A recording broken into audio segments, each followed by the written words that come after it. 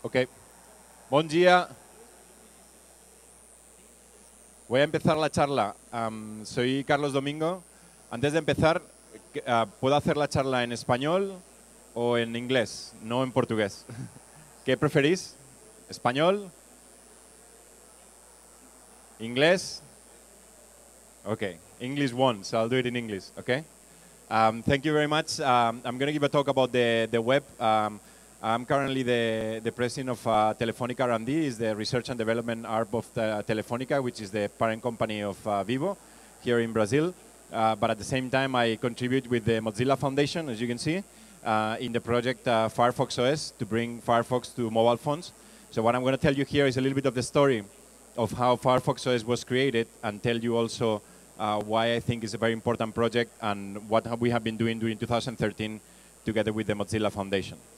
So the title uh, of the conference is called "The Web is Dead: uh, Long Live the Web." And the reason the, the title is called "The Web is Dead" is because in 2010, um, can you guys lower the, the lights? Because it hits there. If you can lower the lights. Can you see well? Okay, good. So, so this this is a cover that uh, Wire magazine uh, is. Wire magazine is a very famous technology magazine. Uh, his uh, editor back then was Chris Anderson, and Chris Anderson um, published a cover uh, in his magazine in July 2010, saying that the web is dead, and he wanted to explain why he thought the web was dead.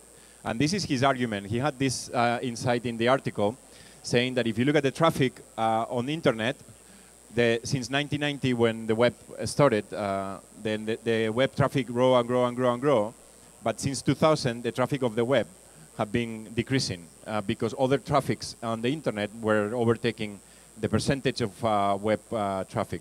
Keep in mind, this is percentage, it's no absolute number, okay? So this is a- an important thing.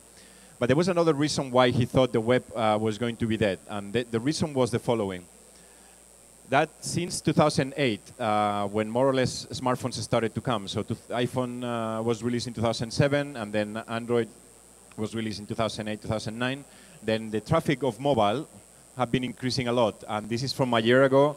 Uh, but if you look at the numbers now, it's actually continue growing. So traffic in mobile is growing a lot compared to, to traffic on the on desktops on, on PCs. And um, so for some companies like Facebook, uh, now mobile is more important than, than desktop. In fact, I I know Facebook quite well, so I visit them regularly. And uh, a couple of years ago, Facebook created a mobile team, and they had a VP of mobile. They have a, a development for mobile. Now there's no mobile in Facebook because everything is mobile. So mobile is their main focus. And if you can see the numbers here, then the Facebook uh, mobile traffic is actually bigger than the non-mobile traffic and is growing uh, much faster. So Facebook is actually a mobile company, even though most people don't think of Facebook as a mobile company. And this is because smartphones, as you know, have been uh, you know, growing and growing and growing and growing, and people use smartphones not as a phone, but they use as a, as a mobile device to access the internet. And then therefore, a lot of people is accessing uh, the internet from, uh, from mobile phones. This is just numbers from the countries with top, uh, the highest penetration in the world. In some cases, you look like uh, you know South Korea or the Emirates. Almost 80% of the population uses a smartphone instead of using a, uh, another type of phone. And in mobile, we have a situation which is very different than on PC because there's two main operating systems. One is iOS from Apple, uh, that is what you have on the iPhone. How many people have an iPhone here? And the other one is Android. Uh, so how many people have Android here? Okay, more or less the percentage is similar. 15% people iPhone and uh, 85% uh, Android. And this is the situation. Most people are using iOS or Android. Is someone here not using iOS or Android on, on their smartphone? Okay. Firefox OS? No? so um, uh, you'll see uh, why this is a problem. So this is similar situation that what we had uh, back then when we had uh, the web as a platform and then people use PCs and on PC it, it didn't matter what operating system we're using because people were accessing uh, uh, applications from a browser and there were many browsers to choose from. They had Internet Explorer, Chrome, Safari, Firefox, etc., etc. On the other hand, on mobile, you have three platforms, and all of them are proprietary, it's incompatible. So when I access the web on a PC, it doesn't matter which browser I'm using, I get the same experience and I get the same content. Well, if you are on mobile and if you have iOS or Android or Windows Phone, is anyone using Windows Phone here? Okay, so you, you have another proprietary platform. So something that is accessible in Windows Phone is not necessarily accessible in iOS or on Android, and the experience uh, is very different.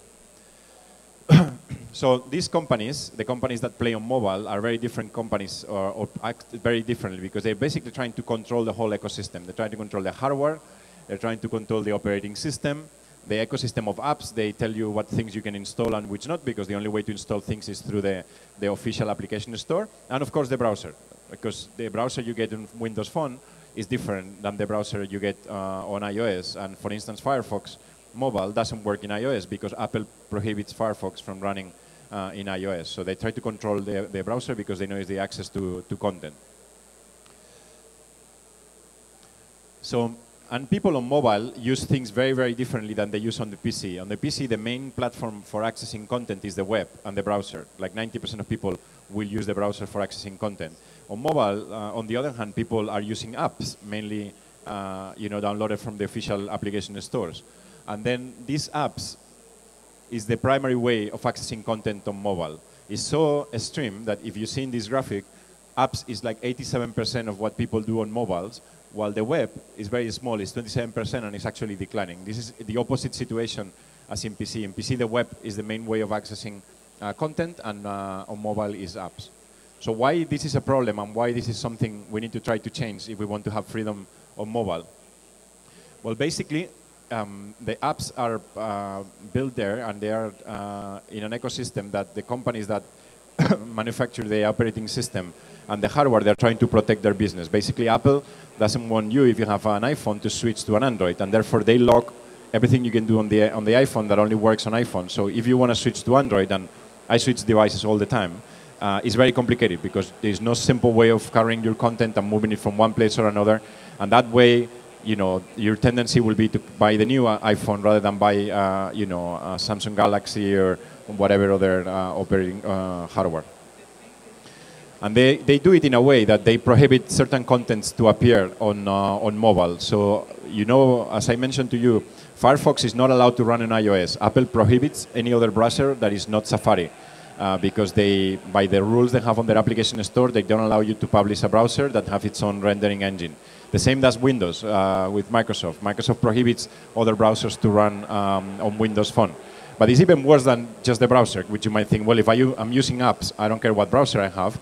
But with the apps, you also have a lot of problems. You know the story about Flash and how Apple decided to block Flash in, uh, in iOS to the point that Adobe then decided to stop Flash, even though on the web is like 90% of the people are, are using Flash. But there's other interesting things, like um, Amazon um, is famous because he had a problem with Apple. Amazon is not allowed to sell books from the Kindle application uh, because Apple prohibits them because it competes with its own bookstore. So if you have a Kindle app on a, on a PC, you can then buy books directly from there. And when you're reading the book, it recommends you other books. And with a click, you can just go and download the book. If you have an iOS, you cannot do it. You can only read the books. If you want to buy a book in, uh, in iOS from Amazon, you have to go to the browser and then access the Amazon store from there, which is, you know, is very complicated because you have to switch up, you have to search um, many clicks, etc., etc. So people buy less books on Amazon on iOS. So this is not a fair competitive situation if you want people to do whatever they want and uh, you know we should have an open uh, ecosystem that doesn't allow these things from happening so let's go back a little bit of history do you know who this guy is Okay, I'm going to tell you something. Uh, every time I ask a question, I will look at who is answering, and then we have some phones to give away later from our partners LG and Alcatel with Firefox OS. So I will then select the person that has contributed the most to the talk. So, who is this guy? you don't know? Tim Berners-Lee. He's got a point now. So, yes, this is Tim Berners-Lee. Uh, Tim Berners-Lee is, uh, is a person from England. Uh, he's actually been in Campus Party many times uh, in different parts of the world, and, um, uh, and he invented the web. He invented the World Wide Web. Why? This is, this is what the document he created. He was working in an institution called CERN, uh, which is a physics institute in, in Geneva, and he invented, he came up with this idea that content should be basically connected to each other, and you should be able to be in a piece of content and then link, click there and go somewhere else. And this is the principle of the World Wide Web. And he invented HTML and he invented all the you know, the hyperlinking, the URLs, and all the uh, infrastructure that uh, you know today we know as the web. And this this was a very relevant thing because uh, before people were accessing the internet using very different proprietary protocols. So you might be, for instance, inside American Online Internet, and you will not have access to someone else that was in uh, in uh, InfoServe from some other you know, dial-up system that was disconnected from the other. So this basically connected everything with a common standard, the web, and through a common platform, which was the browser. So, how many people remember this browser? Okay, old guys, because this is very old already. This is the first browser. This is the Mosaic, it's called. It was actually done in a university as a project. Uh, was done by a person called Marc Andreessen, uh, which today is one of the most famous venture capitalists in the, in the industry. And he this, developed this browser to implement basically the vision of Tim Berners-Lee of accessing the web. So, so the browser will basically render HTML content, will have URLs, will have hyperlinks, and, and everything you know today was, uh, was done back then. Okay, this is 2000, uh, a screenshot from 2004. This is very old one. So the first, um, when, uh, when Netscape, um, so Mosaic was the first browser, but it was a non-commercial one. It appeared at the university, and then uh, at some point in time, Marc Andreessen with Jim Clark decided to create a corporation called Netscape that basically uh, developed a commercial browser. This is the first uh, commercial browser, Netscape. I'm sure most of you have never used it. Uh, how many people used Netscape in the past? Very, probably 35 or 40 or above because this has already disappeared. Um, this was the first commercial browser. It was also the, the, beginning of the internet as we know it today. They, they went public, they did an IPO and went to the stock market uh, in 1994, and that was kind of what everyone considers the moment that the web became mainstream and started appearing many, many, many companies. They also did a lot of things. They created a, a technology called Java. They created a technology called JavaScript uh, at Netscape, which has nothing to do with Java except the name. You know, JavaScript is a scripting language uh, for the web. Was created by Brendan Eich when he was at Netscape. Brendan Eich then is the founder of uh, of Mozilla. We'll tell you more about this uh, this later. And um, something happened in 1995, um, and this happened in 1995. Do you know who is the guy in the shadow? No points. Too many people know this guy. So, so yes, this is Bill Gates. Bill Gates in 1995 released Windows 95, uh, which was like the first um, uh, operating system that included a browser, Internet Explorer. And basically, what Microsoft noticed was that Microsoft had a monopoly for operating systems. And this was very good because if you wanted to do something, you have to develop for Windows. And if you had to develop for Windows, means Microsoft will keep selling copies of Windows because Windows will be more valuable and people will want to use Windows. But when the web came, they saw the problem with an open ecosystem because if the ecosystem is completely open, then it doesn't matter whether you have Windows or not because you have the web. So all the content will be available from any platform and people could write browsers from any, any operating system. So what they did was release Windows 95, come up with this uh, browser, Internet Explorer. Um, this is the, one of the first versions of Internet Explorer. And basically what they started doing was the following. They started taking market share from Netscape. So the way they did it, so this is, this is the Netscape market share in 94. It has 100%, obviously. It was the only browser available. And then when, uh, um, sorry, Netscape is here. So it started getting uh, market share. And then Microsoft started appearing and started gaining and gaining and gaining market share. And why this happened? This happened because Microsoft bundled um, Internet Explorer with Windows, and Windows was the predominant operating system. So similar situation we have today in mobile. So they started making it complicated for other browsers to be on Windows, so people will start using Internet Explorer as default. They also did something like this. They started putting proprietary things in, in Internet Explorer. So websites only work if you're designing a website for Internet Explorer, not for the web. They started breaking all the standards, so people will have to use Internet Explorer and will have to develop for Internet Explorer. And they were very successful because they basically, by 2002, they had killed Netscape. So American Online then came, uh, sorry, American Online then came, acquired Netscape, and then uh, Netscape basically disappeared uh, as we know it today. So the company disappeared. But then something very interesting happened. Uh, I don't know, have you guys seen the Jobs movie uh, recently? No, you haven't seen it? It's, uh, it's quite interesting because it explains the story of Steve Jobs. Steve Jobs was at Apple, and then at some point in time he had problems, so he left Apple but then Apple ran into problems, so they acquired Steve Jobs' company, and Steve Jobs came back to Apple. So when he came back to Apple, uh, the first thing he did was basically to create a browser, because he saw that by having the only Internet Explorer, which was available in, in Mac and, and PC, Microsoft will control the access to, to content. So He came back and created the browser Safari. This is the first new browser that appeared after Netscape disappeared and Internet Explorer to, to call the market share. So Safari came up in 2003. It was a big thing. He announced it as so, something important, not just for Apple, but for the industry. The other very important thing that uh, Steve Jobs did back then was took the core of Safari, which is called WebKit, and make it open source. So people could actually use that in other browsers. So many other browsers started to appear. But then something else happened. Uh, as I told you, Netscape uh, disappeared. Uh, the company basically was acquired by American Online, and American Online, after it saw that it lost all the market share, shut down Netscape. and then some of the people that used to work at Netscape, they wanted to carry on with the idea of building a browser for the open web. So they asked American Online permission to leave the company and created the Mozilla Foundation. This is a non-profit foundation whose mission is to protect the open web because the guys saw that they were destroyed by Microsoft and by Bill Gates and that the web became closed and became proprietary and they wanted to make it open again. So in 2004, they did this. They released Firefox. And they released Firefox as the first op truly open source browser that ever existed. So some of the founders are Mitchell Baker, which is the chairman, uh, chairwoman of uh, um, Mozilla today, and Brendan Eich, which is the CTO, who is the person that invented JavaScript. These, these guys are still there. They still work for the company, and they still fight for their mission of keep the, the web open. They did something very interesting. So they had actually uh, announcements on newspapers. This, this is 2004, so um, not everyone used the 100% the web. So newspapers are still is something people read uh, back then. And they had things here saying that they were tired, that the Internet Explorer was crashing all the time, that it was not working well, that it was not innovating, that it was not advancing, which of course is not something Microsoft wanted to do, right? Because if you're Microsoft, what will you do? The web, you don't make any money. Windows, you make money. So you will protect Windows and you will protect your core business. So you will not make the web something that is good, uh, has a good user experience and advances. So Firefox came, and then another relevant thing happened. Google decided to create a browser. At this time, Google started to be a very large company and very powerful on the internet. So in 2008, they created Chrome as an alternative browser. And I'm going to show you something most people uh, don't remember. Have you ever read this comic book that Google released? One point there uh, for the phones later. So this is a, a comic book that Google uh, published when they release uh, Chrome. Uh, and the comic book is actually very interesting to read. It says things that you know, browsers need to be stable, because browsers are how people access content on the internet. They need to be secure. They need to be fast. They need to be simple and use.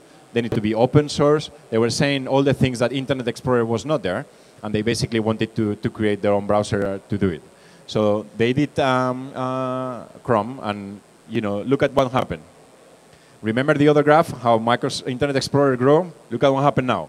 Firefox came, Chrome came, Safari came. They started taking market share from, from uh, Internet Explorer. So Internet Explorer is not relevant anymore today. In, in the actual numbers, this is only until 2012. If you look at the numbers now, it's less than 30%.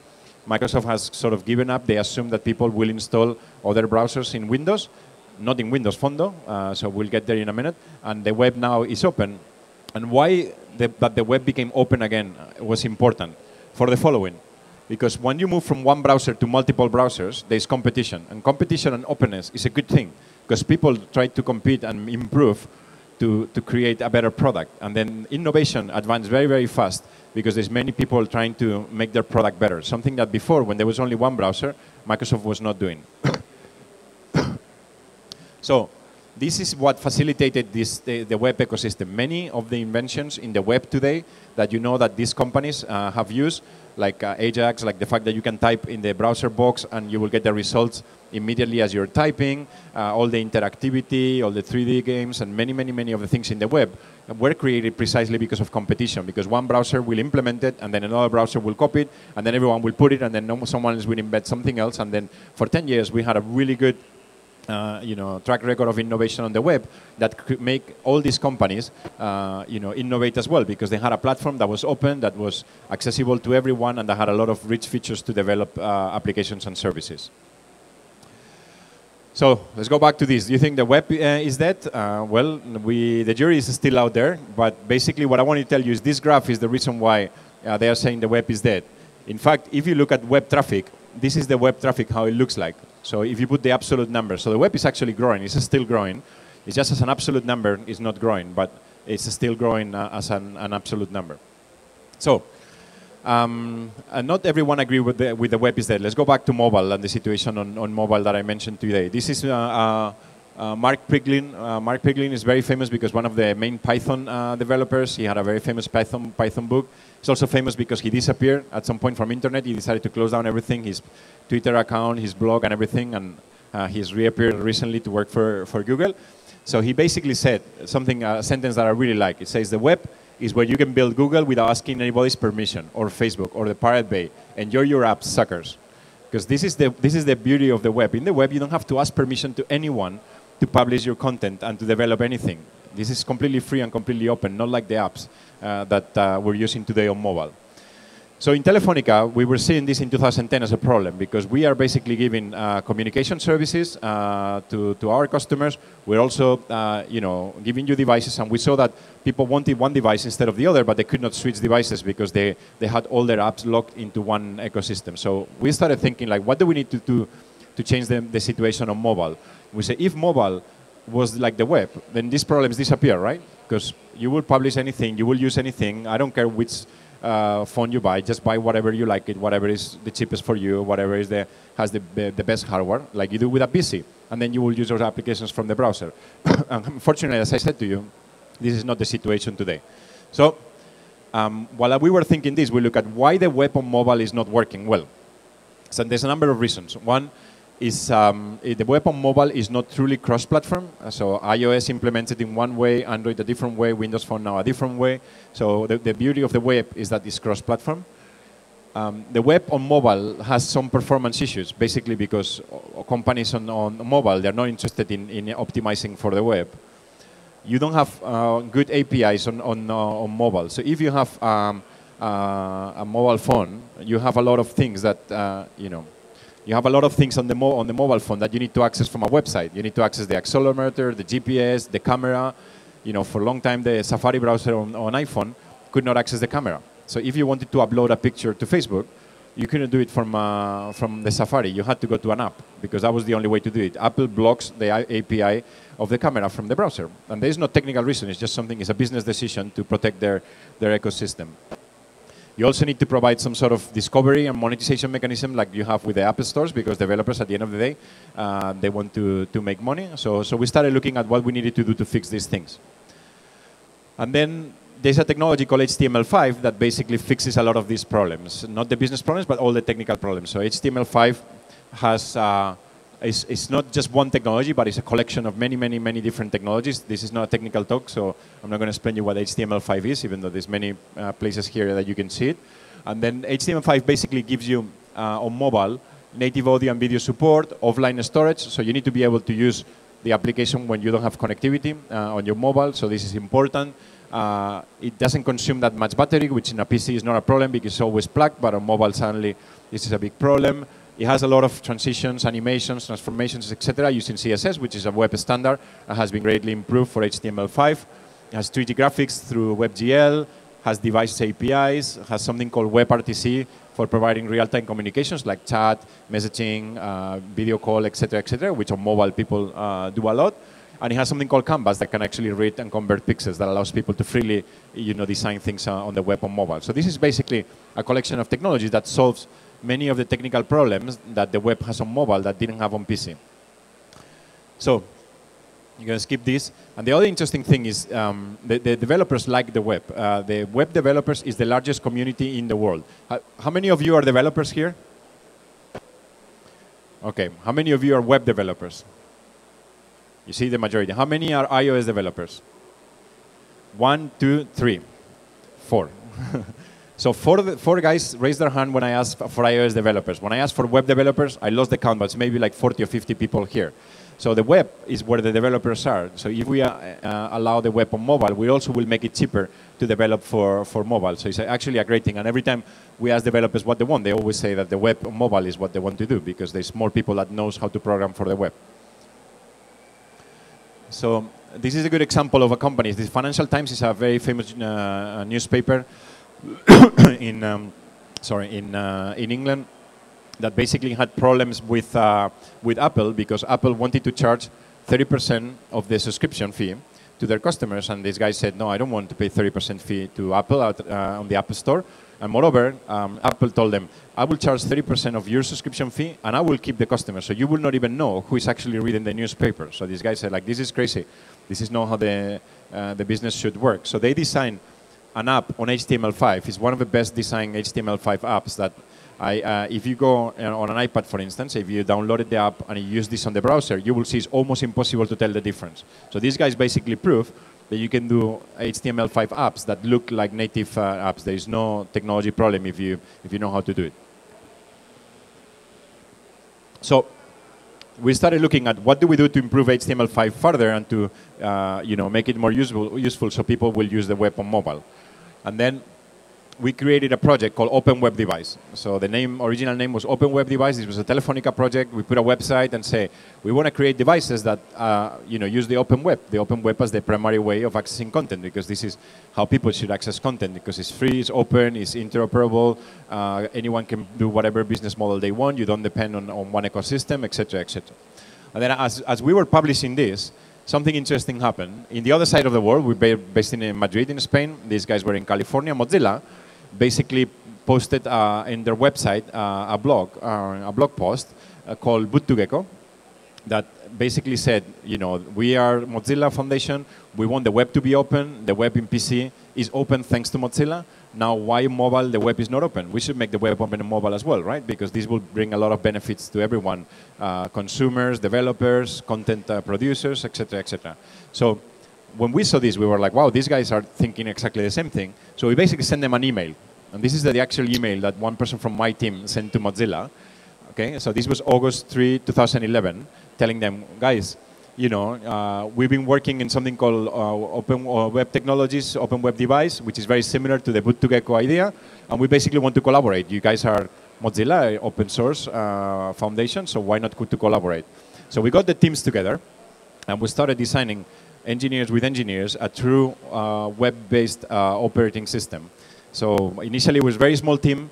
Uh, we went to uh, Mobile World Congress, which is this big mobile uh, uh, conference in Barcelona in 2012. In February, I was there with Brendan Eich, and we basically presented this idea of creating something called open web devices.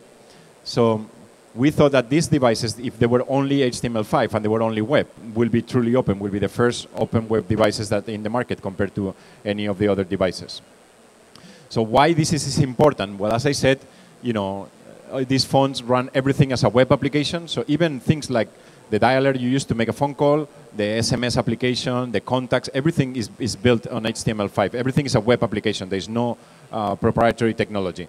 This is also um, devices where HTML5 runs the fastest and that has no performance issues. So we wanted to disprove uh, the idea that uh, HTML5 has performance issues. And it's truly open. Anyone can do, anyone can participate. We contribute with uh, open source code, and now almost 25% of the code is contributed by, by different partners. So we also implemented all hardware access. Anything in the hardware, you can access from a web API using JavaScript. Everything is completely open, so there's no limit for what you can do on the device uh, using the web. But then people were telling us, how are you going to compete? Because this is, you know, as big players there is, is iOS, is Android. How are you going to compete with a, a, new operating system based uh, on the open web? Uh, and we said, well, if you think about it, at the beginning of the presentation, I told you that you know, penetration of uh, smartphones in Korea is 80%. But Korea is just one country, right? It's not the world. If you look at different parts of the world, you know, people are more concerned about cost uh, than in places like Korea. So if you have something that is affordable, has a very good experience, and is completely open, people will want to buy it.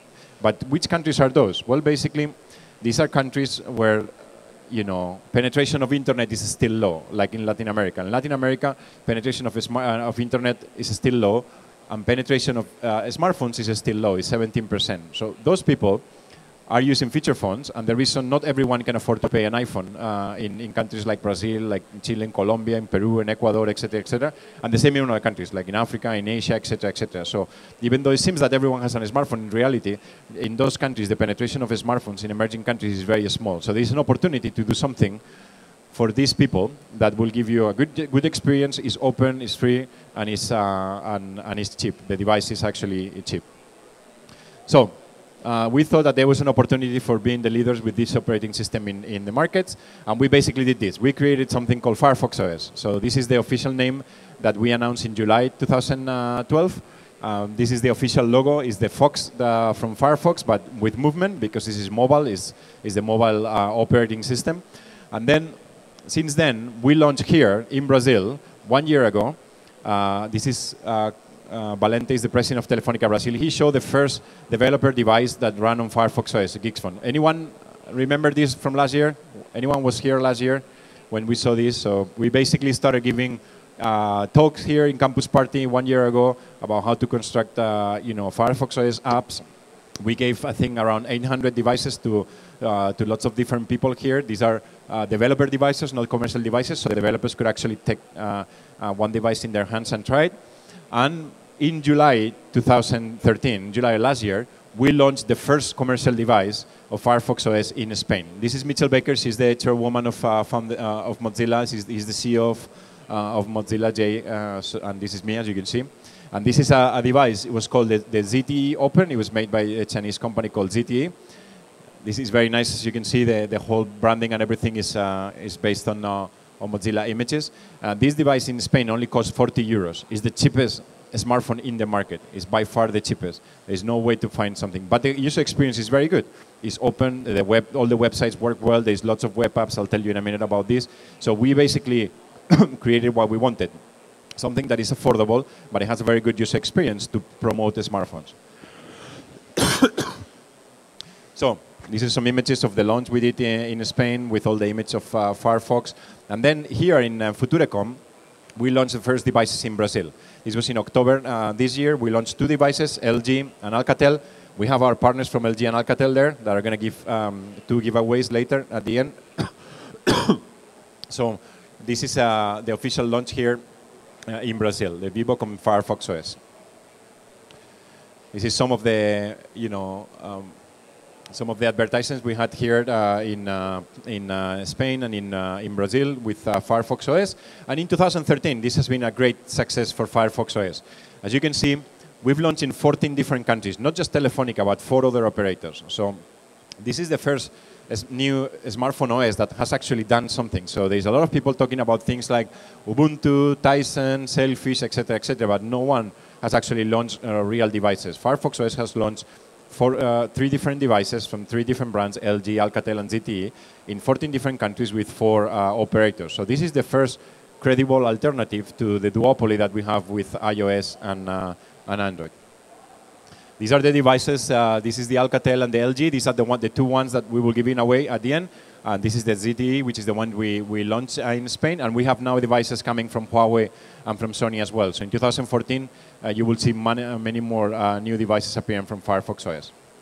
So Firefox has also something interesting, which is a marketplace. So uh, one thing uh, is that you can install anything you want in Firefox OS. You can upload anything you want to the marketplace, but the marketplace also see, uh, is a way to, you know, curate the content to make sure the content in the marketplace doesn't have any spam or any virus or any, any problem with it. So as I said, this is an open ecosystem. Anyone can create a marketplace, but Mozilla has chosen to create one. And this is important because this is where people go to get content. And there's lots of content already.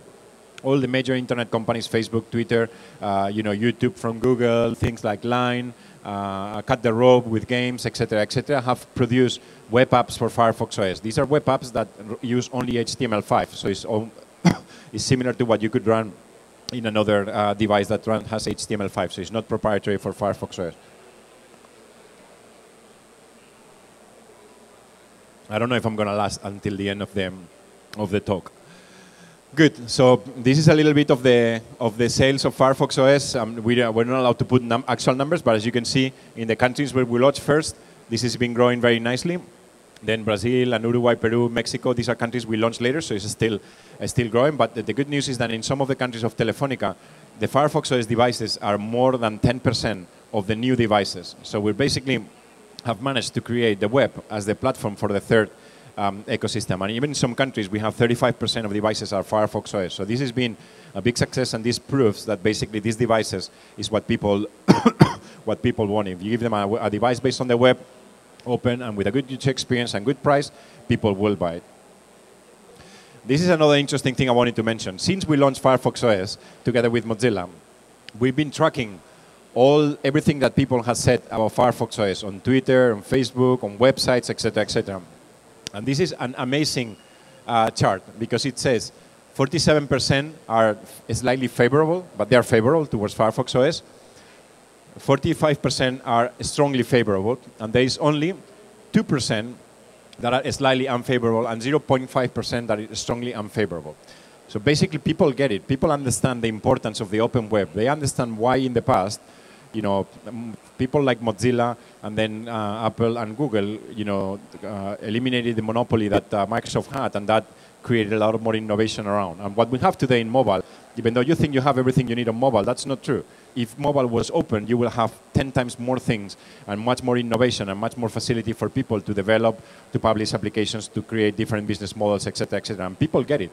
Look at this. This is amazing. There's no other brand in the market that has so, so much public opinion in favor of it. And I know Brazil is a big country of this because you guys get open source and you understand the value of, uh, of open source. Good. So we're expanding partner support. We have 18 more uh, global operators that are coming on board and are going to release Firefox OS devices. We have, uh, as I said, five device manufacturers. And then the interesting thing is that everyone is contributing not to distribute devices, but also with engineering support. This is an open source project. If you want to collaborate with Android, it's impossible. Android is not open source. Android has a completely closed governance. Only Google can participate. Only Google tells what goes into Android. This is different here. This is a true open source project, completely open to anyone. If you're a developer and you want to participate, you have uh, here lots of resources, lots of places where you can go, you can help. You can do testing, you can do localization, translation, etc., etc. And more than 25% of Firefox OS is developed outside Mozilla. This is very, very important because it keeps the, the ecosystem open. So um, this is a little bit of the countries where we're going to launch, as you see. Firefox OS soon is going to be in almost 80% of the world, so this is great news. And why this is uh, important? Because if you think how long it took to Android to do this, we're doing this in one third of the time. So most people don't know, but Android was founded in 2003. 2003, so keep in mind, it's almost, uh, it's more than 10 years ago. Google acquired Android in 2005. I don't know if you knew that Google actually didn't develop Android. They acquired a company called, called Android and had the operating system the, the, the, devices were announced in 2007, but they were only launched in 2008. And since then, to get to version 3.2, which is the most, the majority of the versions that are installed of Android in low-end devices are up to version 3.2, it took them almost uh, 10 years. Okay, it took them nine years. With Mozilla, and thanks to the partner support and thanks so many people contributing from the community, we've managed to launch, starting in July 2011. This is when the project started, only Mozilla and Telefonica. And then we've launched in, 2000, in July 2014, which is two years after. So the, we're going to have a release that has feature parity with Android. You won't have the same features that Android uh, up to version 3.2 has, which is amazing. So in two years, we've done what Google uh, took nine years. And why we've managed to do it so quickly? Because the community has helped, because this is open and people has contributed. There's a lot of open source things that go there that we don't need to, to develop again. So this is a proof of why open source is so powerful. And even though people think that you know, a small company like, uh, like Mozilla is never going to be able to compete, but the only way to compete is by doing it with the community, with people like all these web developers that, uh, that are here. Good. As I said, these are resources uh, where you can go and, uh, and uh, help or find information for if you're a developer and you want to develop applications. Uh, we'll be running uh, things here, running Campus Party, and, uh, and I encourage you to try it because if you're a web developer, you'll be amazed how simple it's for you to, to do a web app compared to if you try to do something in iOS or, or with Java in, in Android. Good. So I think that this is uh, the, the, the, real important thing of Firefox OS is not Firefox OS per se, it's the more open web. This is not about Firefox OS conquering the world.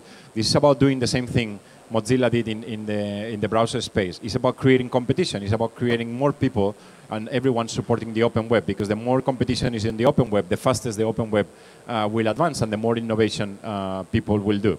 So we, we hope that this will basically you know, create a world that is open and not a world that is closed based on proprietary platforms and on companies' interests that are, you know, taking decisions for, for you instead of you being able to take any decision uh, you want. So hopefully we'll have one web and not like now that we have the web on the desktop and mobile, which is completely closed from the rest of the web, and this will make, uh, you know, the world a better place. Thank you very much.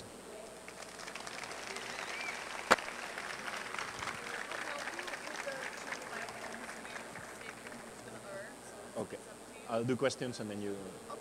Okay, uh, we still have like uh, five minutes to do questions and then we'll give you the, the devices. So, as I said, the ones that participate the most will get the devices. So, question please.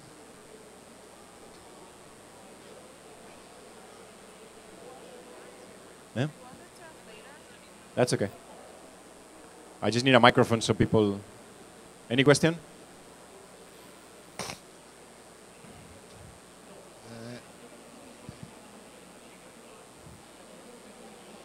Você acha que com a plataforma aberta. Em inglês?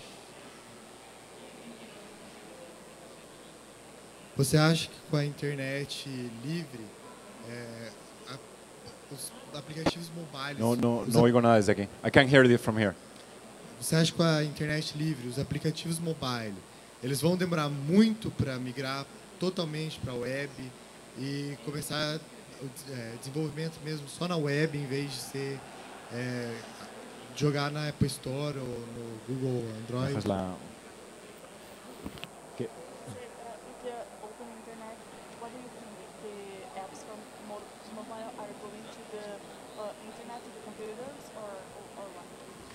So, uh, if I understand the question correctly, she helped me with this. Uh, you're asking what, what do you, I think it will happen with the apps on mobile. I think what, what will happen is for some time we will continue seeing apps on mobile because Apple and, and Google are going to do everything they can to make sure the best way to develop is apps. And there's nothing we can do about it. The only thing we can do is to make sure people also see the value of developing for the web. And one interesting thing that is happening is that a lot of the apps on mobile for Apple, for iOS, and for Android are actually based on HTML5. So if people start using HTML5, even if then you have to compile into a native app to publish on the on the App Store. I think this is still a good thing to uh, to do, and we're also encouraging this because eventually, as Firefox OS grows, I think Google at the end of the day is a web company. So so we will see more. Google now has put Chrome on uh, on Android, which is a good thing because Chrome is a very advanced browser. So I think that as Firefox gets market share, Google goes back to their origin, uh, being a web company. Apple loses market share. I don't know if you saw yesterday the news, but Apple revenue declined 1% for the first time in, I don't know, the last 10 years or something like that. So Apple uh, is going to run into problems eventually. It's impossible that they keep up uh, with the power they have. I think eventually we'll see developers migrating to the web. And this takes time. Uh, in the web, it took 10 years, so it's going to take maybe, I don't know, not 10 years now because we already have uh, several years of work, but another three to five years.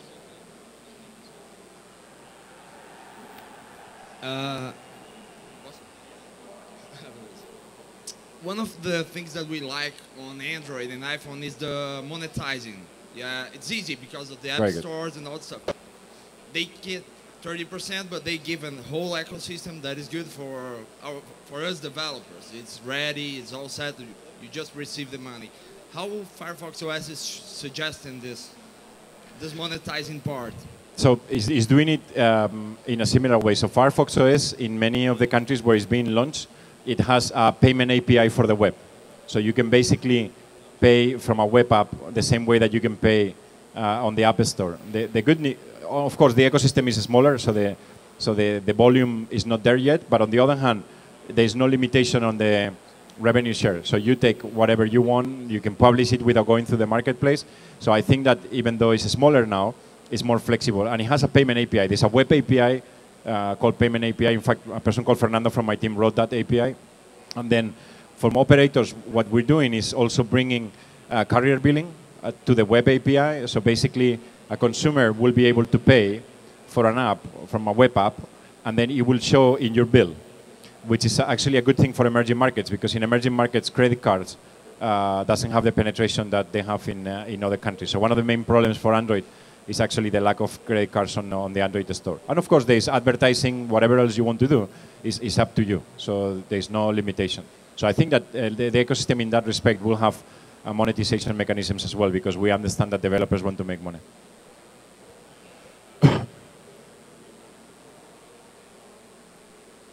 Você falou durante a, durante a palestra que os aplicativos para Android para iOS são todos muito fechados. A proposta do Firefox de fazer a, a web aberta, no caso os aplicativos que saírem para o Firefox OS, eles serão open, open source também? No. This is, uh, you don't need to do it open source. So this is up to you. So it's the same as in the web, right? The web is open. means you have to use open standards. And from one website, you need to be able to link to another website, etc., etc. But the source code of the websites is not open. This is depends on the, on the developer. So this is your decision.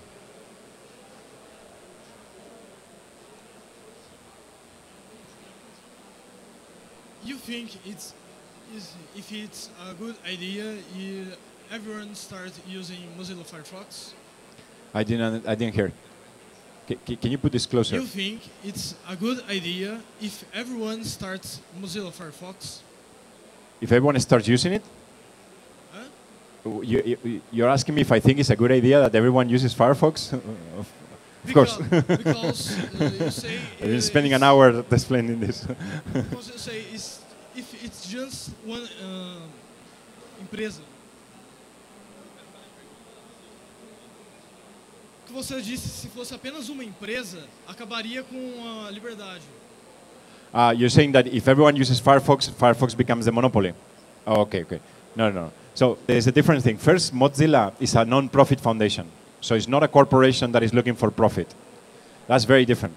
Because even if Mozilla, I don't know, gets 90% market share, which is very unlikely because at the end of the day, you know, people, uh, there will still be some people that want iPhone or, or Android the, the, the, good thing is that Mozilla is not driven by money.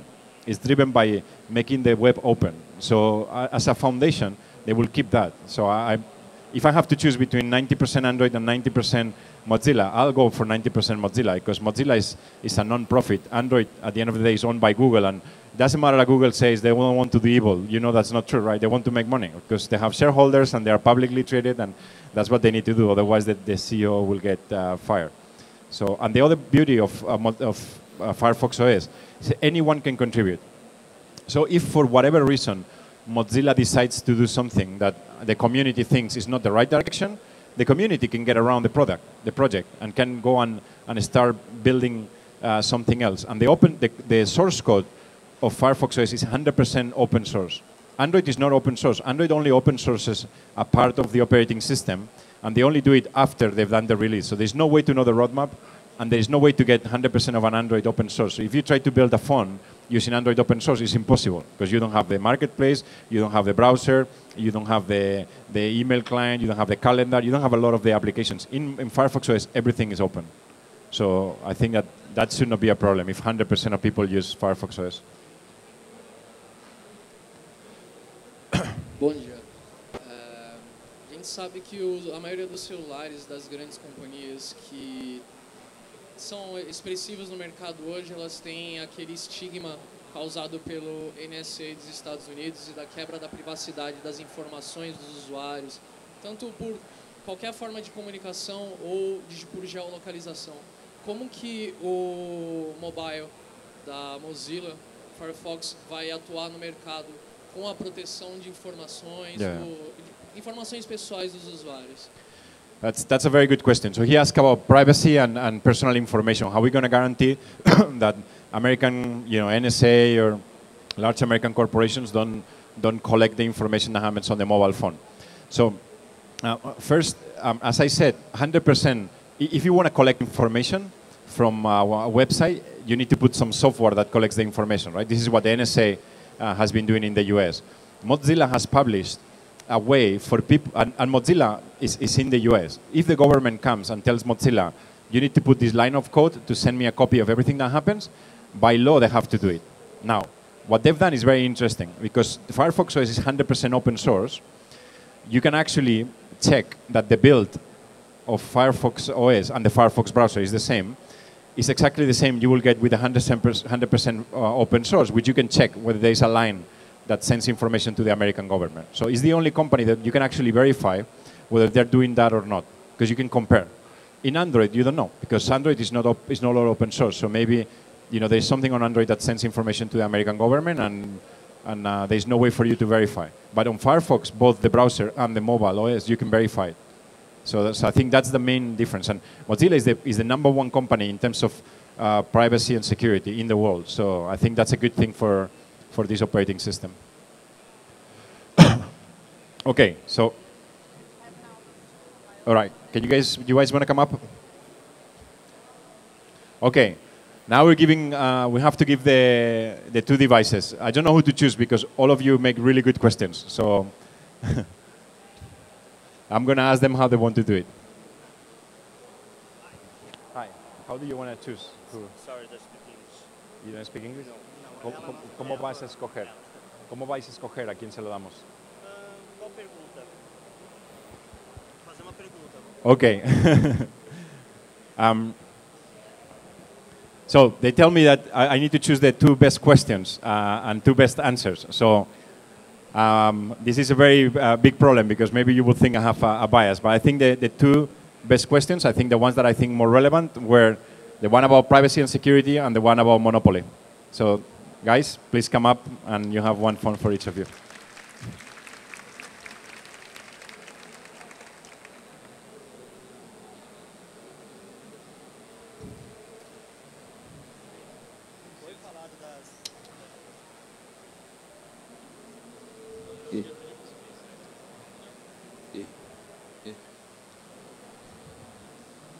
Any preference? I'll give you this and this. Thanks. Come, come. Uh, we want to take a picture.